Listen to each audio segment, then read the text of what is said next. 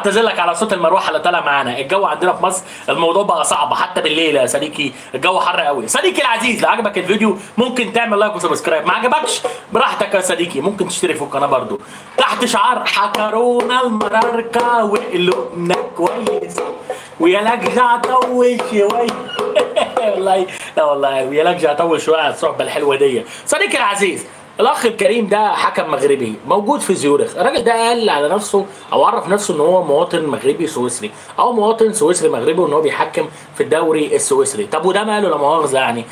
بص هو الحاج شاف إن في مشكلة كبيرة لا مؤاخذة يعني بسبب موضوع نهضة البركان واتحاد العاصمة. كراجل مغربي متابع للشأن المغربي قرر إن هو يقول لك الله هما بيقولوا لا مؤاخذة يعني إن ده مش قانوني. إذا كان متحف الفيفا نفسه في خريطة المملكة المغربية. يبقى إزاي ده مش قانوني؟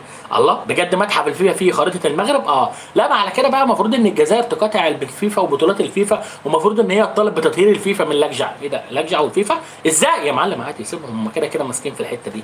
خش يا دولي بس بالراحة علشان خاطر في ناس بتزعل من حياتي في العالم معكم أخوكم يوسف رشاد آه، مواطن مغربي سويسري ولا سويسري مغربي.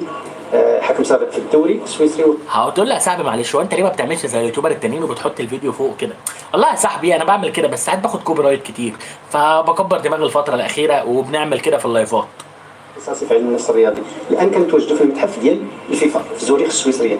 هذه كأس العالم الأصلية اللي كتجي لهنا كتكون في المتحف حتى كيوصل الوقت ديال كأس العالم وكتمشي لل... لل... لل... لل... للدولة للدولة اللي بتنظم دابا البطولة. غادي نمشي معكم باش نتقاسم معكم واحد المعلومة اللي هي مهمة جدا جدا.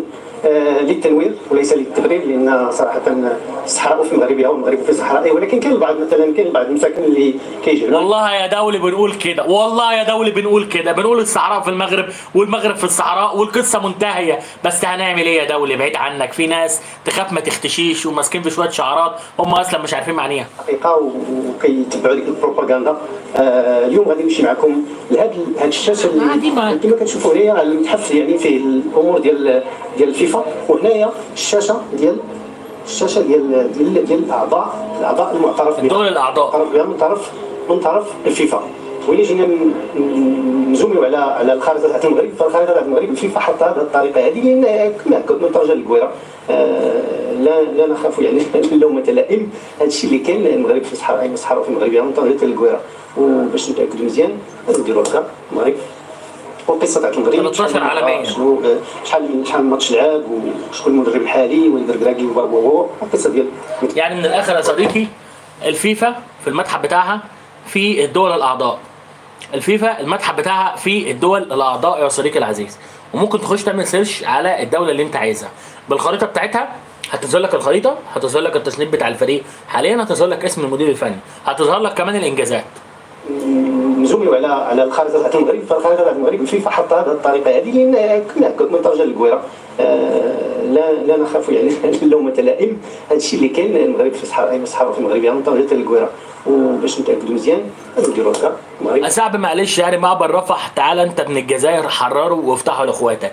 لا مؤاخذة يعني عايزك تنزل على الأرض اللي هو شبح معلش يعني. أنا بسمع كلامك على النت كتير على معبر رفح. عايزك تنزل على الأرض يا شبح. ولا أنت لا مؤاخذة؟ أسد في المواقع والواقع جلاش. لا مؤاخذة يا صديقي. إحنا مش هنخش نحارب عشان نرضي جزائريين قلت الكلام ده 7000 مرة. وتاني وتالت ورابع حبيب أخوك معبر رفح سيادة مصرية إسرائيلية. الجزائر ملهاش علاقة بمعبر رفح غير إن هي عمالة تقاكي عليه. وهي دي حكاية قصة معبر رفح. أما أخونا الحكم الدولي فهو راح لا مؤاخذة يعني علشان خاطر يقول للناس يا اخوانا في حالة لبس. الفيفا نفسها بتعترف بخريطة المغرب كاملة. فكيف يقولون إن اللي حصل ده ضد قوانين الفيفا؟ يعني إذا كانت الفيفا نفسها في المتحف بتاعها في خريطة المملكة المغربية كاملة. من طرف الفيفا. وإلا جينا نزوميو على على الخارطه تاع المغرب. فالخارطه تاع المغرب الفيفا حطها بهذه الطريقة هذه لأن كنت من طرجة آه لا لا نخاف يعني اللومه لائم. هذا الشيء اللي كاين المغرب في الصحراء اي الصحراء في المغرب يعني من طرجة وباش نتأكدوا مزيان نديروا هكا المغرب.